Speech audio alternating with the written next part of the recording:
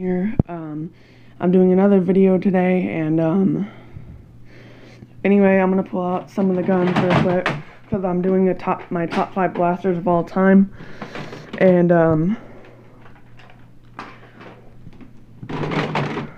I just first I'm gonna do top five pistols and then um, top five big blasters. So. Yeah, it's gonna be a little crazy, I guess, but um, you're gonna have to deal with that. Anyway, um, I just gotta grab one more out of here, I think. Yeah. Alright, so. I'm not doing the, uh, here it is. Nope, that's not it. Where is it? Uh, no, that's not it. Alright, hold on. I gotta find that gun. No. Honestly, guys, I don't know where that gun is, but, um...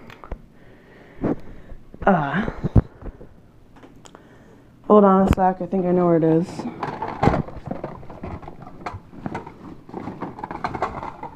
Yep.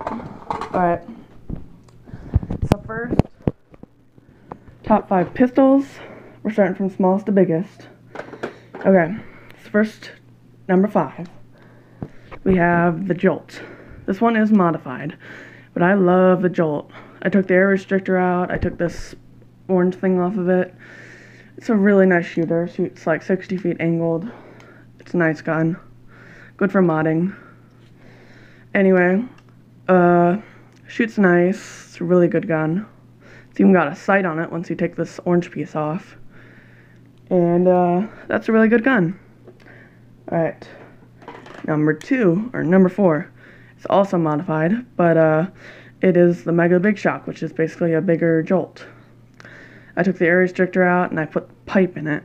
It's a nice gun though, but it's horribly inaccurate when uh, you first get it, so I definitely recommend doing this mod right here. Um, number three, we have the Nerf Triad. It's not modified at all and it gets really good range. If there was any confusion in the last video when I said it shoots 60 feet, I meant it shoots 60 feet angled. Other than that, it shoots like 45, 50 feet. Yeah, I've had this gun for a long time.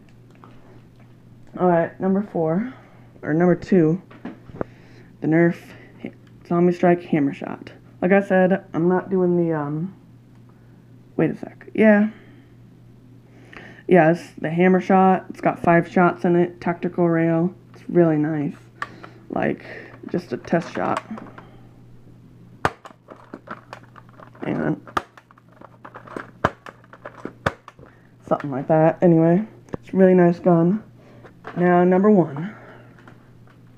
Definitely the Mega Cyclone Shock. Really good gun, and it's the there's a lot of mods you can do to it, like I said in the last video, and it shoots like 90 feet when I'm modded. So that's really good. I put pipe in it. Um, I'm actually not going to repeat myself. If you guys really want to see the mods for this, just um, look at another video I made. Anyway, that's my top five pistols.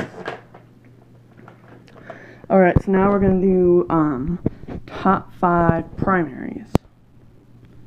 So, um, Okay, so I guess fifth place goes to this guy. This is a Swarm Fire. It's got a stock attachment point, but there's only one stock for it. And it's full auto. You put load the darts right here. Really nice gun. It's awesome. But I don't like flywheels that much, so yeah. Right. Number three.